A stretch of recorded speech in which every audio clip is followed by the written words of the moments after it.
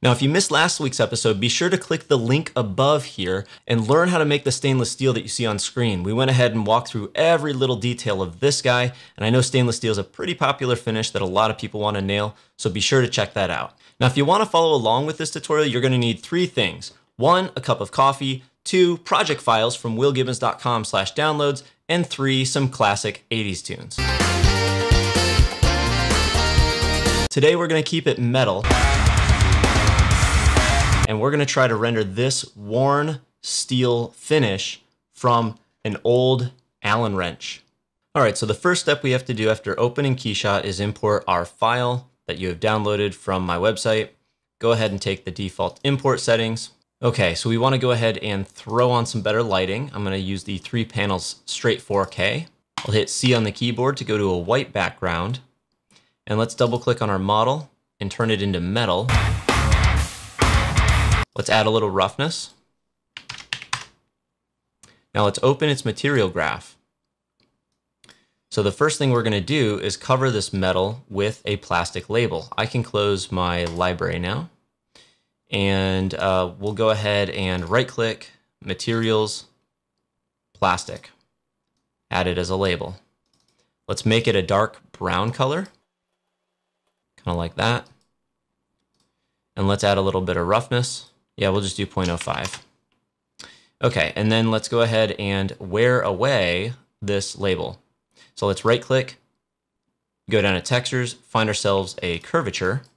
We're going to hit C to preview the curvature. We want the positive curvature or the edges to become black. So let's set positive to black and leave the other two white. So we now have our edges exposed. I'm also going to turn off this radius in pixels here and use real world uh, units. So I'll go down to 0.5 millimeters. There we go. So we have a nice white and black mask, and I'm going to get out of preview with C and plug this into the opacity of the plastic label. So right there, we have already exposed the edges of our wrench. Looking pretty good. Now we need to expose the inner details on the edges, I'm sorry, on the flat areas, but also this worn edge is a little bit too perfect. So in case we want to make this a little less uniform, we can do that as well. So let's go ahead and right click and get another texture, this time camouflage. And we're gonna go ahead and hit C to preview camouflage. We'll set it to one millimeter or 0.5. And we're going to set uh, everything else except for color number one to white.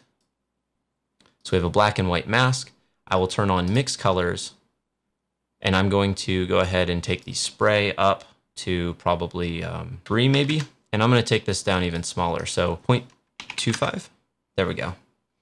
So if I want, I can plug this into one of the other um, channels for the curvature, or we could composite it.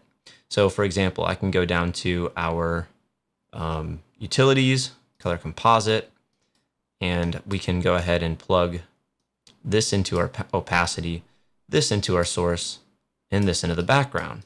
And because we have the black and grays, and I want that to darken, uh, let's see, I want the I want white areas to interrupt these black lines here. And we have white areas in here. I'll make this a little smaller. Let's just do 0.1. And let's go ahead and set this color composite to screen and you can see right there, we have imperfect exposed edges. So that's gonna give us a little bit more of that look that we're after. Now I want to also work on this inner detail. We can't forget about that. So we're going to, of course, use uh, some other textures and we wanna right click in here, go ahead and find a granite. Go ahead and hit C to preview that. Let's make it white. And let's scale it really down uh, small. Uh, one, let's do um, let's do point uh, two five. So very very small. I want to I want to capture all these little bumpy details here. And right now I'm actually going to be plugging this into a displace node. Um, so I'm going to go ahead and go into geometry and displace. And when I plug in displace to geometry and I plug the granite into displace, let's go into the displace settings set the displacement height to 0.0, I don't know, 75 or so. and then um, take our triangle size down to point, uh, 0.1 or 0.05 maybe. And I'm going to hit execute. Uh, now, if you got a system that's not super powerful, this might take a second. Um, you can hear my computer making noise. Now, it looks like our surface is kind of exploded. Uh, this happens because the normals on these fillets are facing the wrong direction. Um, we can try fixing this uh, with the edit geometry.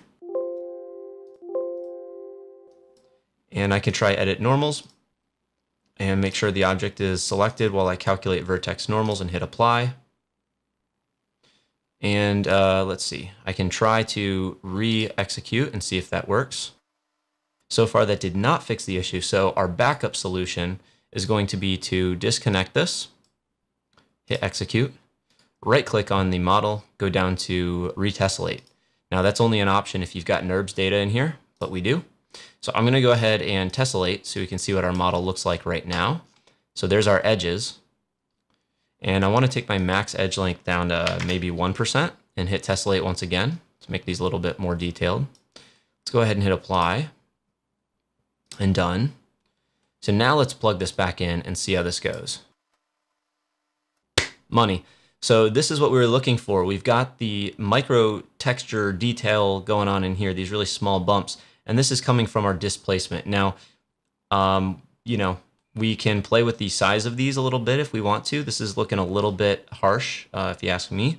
So I'm going to go ahead into my displace height and make this smaller.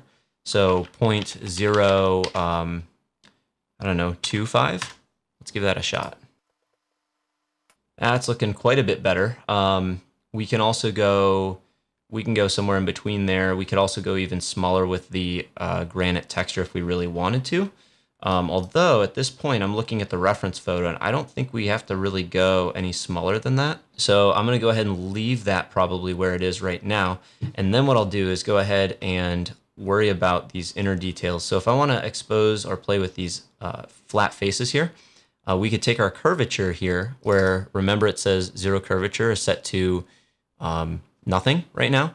We could look at our granite with C. It's got these nice little details here and we could use these to, uh, you know, give this some more texture, or we could even grab a different, you know, noise texture. It doesn't matter. So I'm going to use uh, noise fractal, and let's make this guy real small. Let's go 0.3, and then let's plug this into the zero curvature.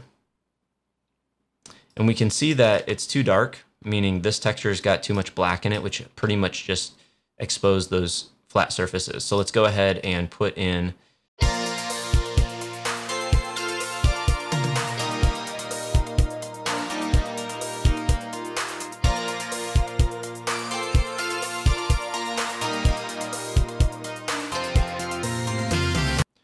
All right, so here's what we got to do. Uh, this is getting even lighter, and the reason is because if we look upstream, our color composite is set to screen, and it's actually um, the whole thing is is taking this camouflage and combining the two and making it too bright. So in fact, we need to, I think, invert our noise fractal. So let's go ahead and take this and just do a color invert.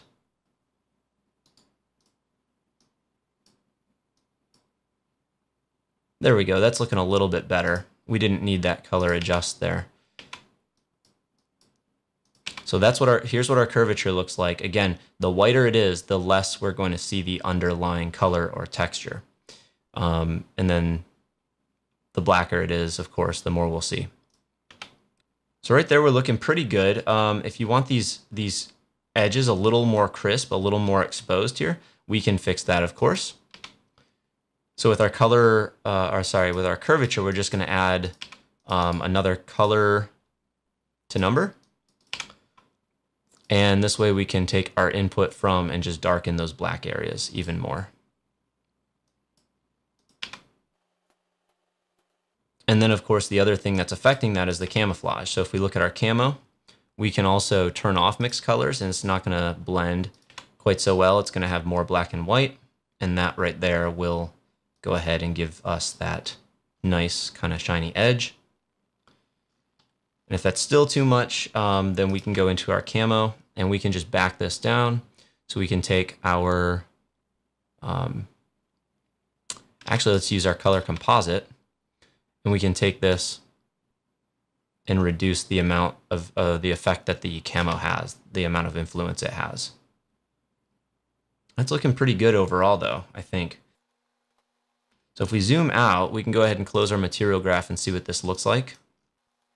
I'm also noticing it's definitely getting a little bit slow. Anytime you use curvature, things are going to slow down. So that's something to watch out for. Um, and this is looking actually pretty good. You know, if you want more areas uh, that are more random and, and, you know, have some more scratches and stuff, you just have to play with the scale and the size of something like that camo uh, procedural texture in there. Let's see if there's anything else we might want to do. All right, so I'm seeing the fractal pattern here on the sides, and I don't want to do that. I don't want to see that. So I'm going to go ahead into our material graph and take our noise fractal and see if I can just uh, reduce the contrast here, I guess, and play with the shape of it a little bit. So let's take our, let's see if we can play with our uh, fall off, maybe with our levels. I feel like that does look a little bit better, definitely a little more texture. It may just be too big too. Let's take it down to 0.5. So it's even smaller. And maybe we even take our granite down just a just a little bit too. Let's do 0.2. We'll go ahead and refresh the geometry node. All right, to finish this guy off, what we're gonna do is get one more label. I'm gonna go down to uh, materials. We're gonna do one more level or layer of paint. We're gonna add this as a label. We're gonna darken this whole thing up. Almost go to a dark black. And what I want to do is just have some more darker areas in here. So I'm going to go ahead and get another curvature. Down to textures and curvature and hit C to preview. And this time we're going to go positive curvature is going to be black again. These other guys will be white. And we're going to turn off radiuses and pixels. We'll turn off sync. We'll set this to two or one. There we go. We'll take our zero curvature and reduce this. There we go. So what this will do is this will basically allow some of the other stuff underneath it to show through. Something like this. So again, the whiter the areas, the more of this label we're going to see. let's go ahead and plug this into the opacity. And then if you want to see the difference with that or without, you can just click on the connector, go to disable, it's a little bit lighter, enable, and then we can play with these colors from here. So if we want to go to the zero curvature, and darken this guy a bit. Oops, we got disconnected here. There we go. So if we go ahead and play with this again, if we go darker, it's going to be more, have less of an effect. If we go up to white, it's going to put more paint on basically. So from here, you can more or less adjust the severity of the kind of paint loss or that coating, whatever you want to call that. Same with the positive curvature. So if we make this a little bit less black, then we're going to start to cover this whole thing up with paint as well. So you can play with the severity of that wear. So basically what you could do is take this node and we could name it and call this um, paint cover or wear. And then this one individual node here is the one that you would play with while having the rest of this all taking care of the rest of the material this is the one label that basically covers this whole thing up. And you could even change the colors of it. You know, if you wanted it to be like blue paint on top of this thing, you could. So it could be like a painted object that got worn away. It could be, you know, kind of an orange or a red. Go yellow. And this way you're allowing some of that, that other kind of rust and wear and the discoloration underneath to come through. So yeah, that's what I'm going to go ahead and say. Uh, that'll be the conclusion of this tutorial. We'll go ahead and hit this to uh, realign everything. So that's what our, our node graph or material graph looks like in the end. And the other cool thing is that you can save this, of course, and then just reapply it as you need to. And, um, you know, go ahead and name this entire material and you can call this, you know, very worn painted metal. And then you can go ahead and, uh, oops, that's a node name we want to take that and actually plug that in up here. And then you can save this to your your folder, you know, my materials or your custom folder, whatever you use.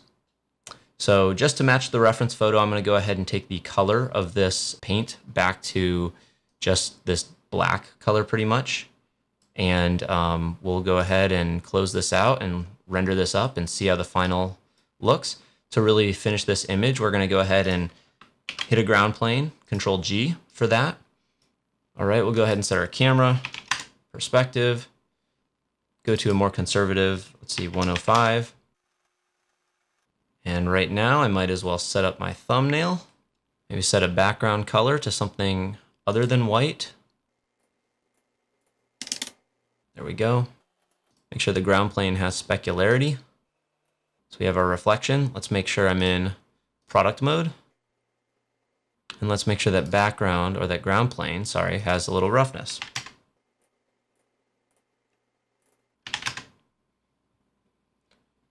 All right, guys, that's going to do it for today. And until next week's episode, happy rendering.